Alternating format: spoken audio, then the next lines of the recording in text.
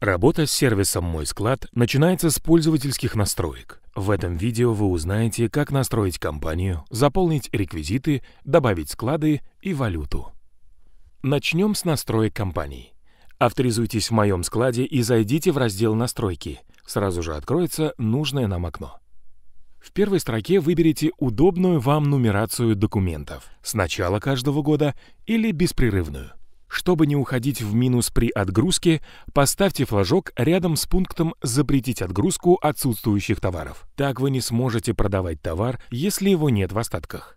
Если хотите, чтобы цены никогда не опускались ниже определенных, поставьте флажок рядом с пунктом «Автоматически устанавливать минимальную цену». В этом случае, если в документах продажи будут установлены цены ниже минимальных, сервис автоматически увеличит их.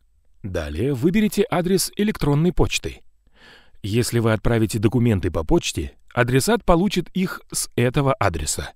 Следующий пункт – использовать корзину для восстановления документов. Проверьте, чтобы стоял флажок. Так вы всегда сможете восстановить удаленный документ. Сохраните настройки. Следующий шаг – заполнить информацию о юридическом лице.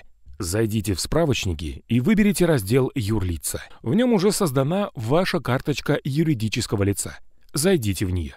Самый быстрый способ заполнить карточку указать ИНН и нажать кнопку «Заполнить реквизиты по ИНН». Сервис автоматически найдет и добавит остальные реквизиты. Далее заполните поля с контактной информацией. Укажите фактический адрес и заполните реквизиты счета. Это нужно, чтобы при работе информация автоматически подтягивалась в печатные формы.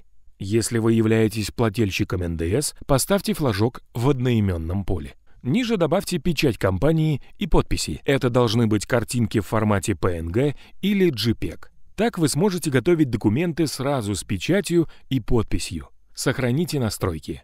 Переходим к созданию складов. Вернитесь в общие настройки и выберите раздел «Склады».